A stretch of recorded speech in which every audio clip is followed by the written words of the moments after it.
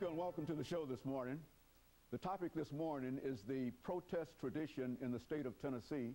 And we have with us to talk about the earlier parts of the protest tradition in the state of Tennessee, Alana McLaughlin.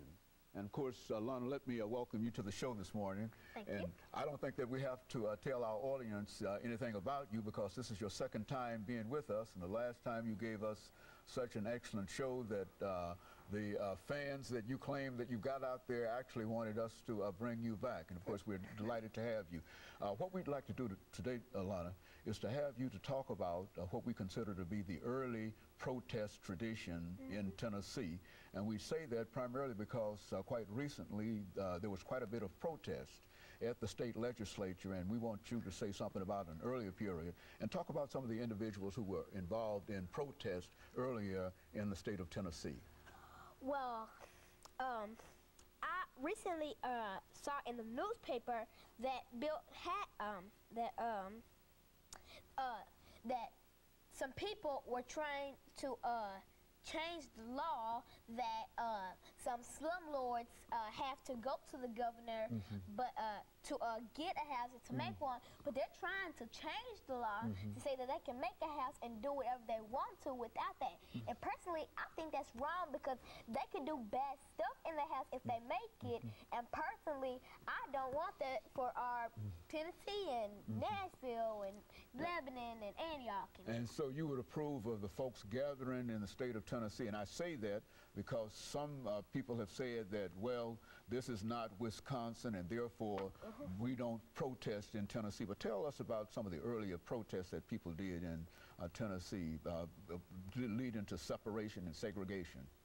Well, um, I recently uh, another thing I saw in the newspaper was that um, that they were uh, debating on if uh, if uh, the laws will let uh, college students carry guns on campus, and I don't really think they should do that. You don't like that law? No, I do not. Why, why would you oppose that?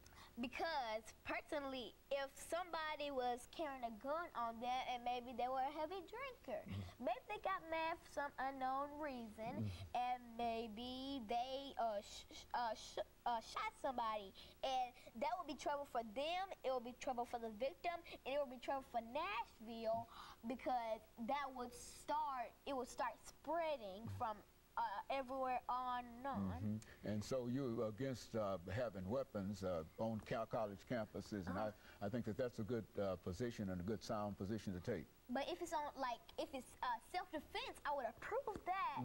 But if it's for bad use, I would not approve it. hmm Now, you know, uh, there are a number of other things that have occurred uh, dealing with the teachers union. As a matter of fact, we've got some folks who are coming up after you to talk about uh, the uh, teachers unions and unions period, a gentleman from the AFL-CIO as well as another activist like yourself. Uh, what, what do you think about the unions and uh, teachers in, in this time? Well, I recently heard from you that Bill Haslam, our current governor, was trying was trying to uh to let to pay teachers more than their more than their less than they're usually paid. So he's trying to cut down the salary of teachers, and because of that, some teachers may get very angry, and some teachers may quit their position as a principal or teacher or guidance counselor.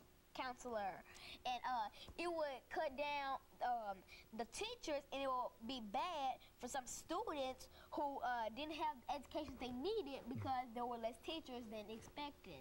Now, you're big on this education as an activist, and uh, people often say that uh, perhaps that, that little girl, uh, eight years old, might not be able to read. Why don't you tell me something about your reading experiences to dispel that idea that somebody else is giving you information? Well, reading is basically the one thing that helps you live.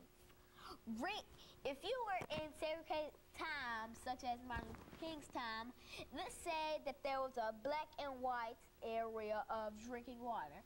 If you didn't know how to read, you would not be able to read that you weren't supposed to go to the white area and you weren't supposed to uh, do that, and God knows what the police would do to you. Mm-hmm. And, and, of course, Leonard, I think, and let, let me tell you how much we appreciate uh, your input in reference to this. And we've got a couple of gentlemen that will come on, and this is about the uh, end of this uh, segment, but we've got a couple of gentlemen who will come on and who will give us essentially the same kind of information, but it will be with, within a different context. And they will talk about uh, the AFL-CIO as well as the uh, African American Cultural Alliance. But we think that uh, the contribution that you've made by simply telling us what has gone on in reference to protest. Uh, you simply mean that protest is still alive and well in Tennessee, and we hope that many of the others will follow your example. Of course, let me encourage our audience to tune in again next week uh, for, for another part of this program. Thank you.